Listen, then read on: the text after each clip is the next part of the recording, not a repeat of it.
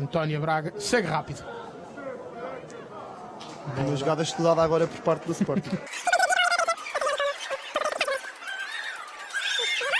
Recuar um bocadinho o ataque sportingista. E é aqui que vemos Keito Matal.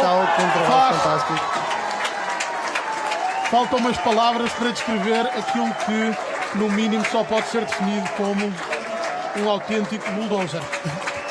Ninguém espécie de parou. compressor, Keito de rolo compressor. Este, eh, esta jogadora neozelandesa num, num grande ensaio para a equipa do Sporting, o terceiro no jogo, creio.